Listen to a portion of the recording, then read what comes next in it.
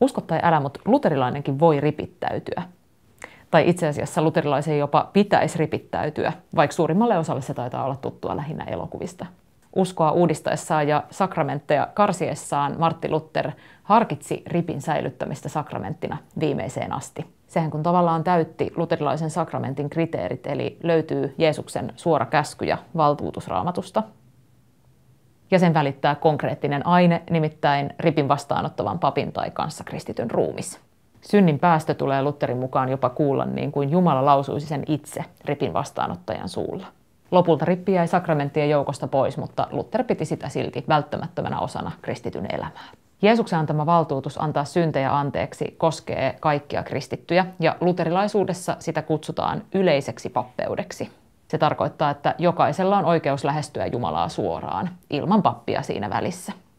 Meitä erityiseen palveluvirkaan vihittyjä pappejakin onneksi tarvitaan, nimittäin toimittamaan oikein ne kaksi jäljelle jäänyttä sakramenttia, eli kaste ja ehtoollinen.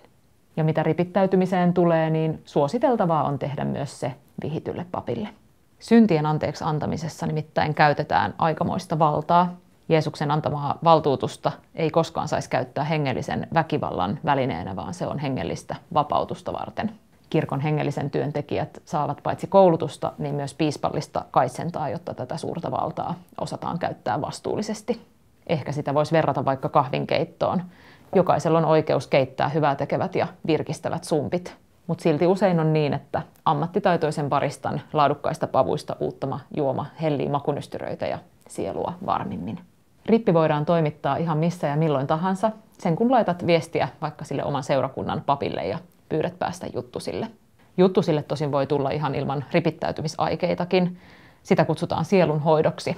Se on auttavaa keskustelua kirkon hengellisen työn ammattilaisen kanssa. Sielunhoito on tarkoitettu ihan kaikille vakaumukseen ja kirkkoon kuulumiseen katsomatta.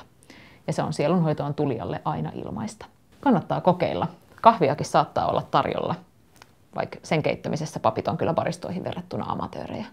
Vihityn papin kanssa käydyn sieluhoidollisen keskustelun ja ripittäytymisen erityispiirre on myös se, että kaikki, minkä pappi siinä kuulee, on tiukimman mahdollisen vaitiolovelvollisuuden eli rippisalaisuuden piirissä. Kannattaa kuitenkin muistaa, että se koskee vain erikseen sielunhoidoksi tai ripiksi sovittuja tilanteita. Jos siis huikkaa vaikkapa baaritiskillä papille suunnittelevansa rikosta, niin pappi on siinä tilanteessa aivan yhtä ilmoitusvelvollinen kuin kuka tahansa kansalainen.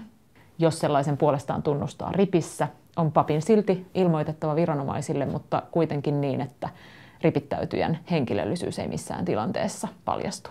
Rikokset on ehkä ääriesimerkki, mutta totta on, että papille voi kertoa juuri sellaisia asioita, jotka haluaa saada sydämeltään, mutta joita ei välttämättä koskaan halua kertoa kenellekään muulle. Se voi olla tosi vapauttavaa, etenkin tässä ajassa, jossa lähes kaikesta jakamisesta jää jonkinlainen digitaalinen jälki.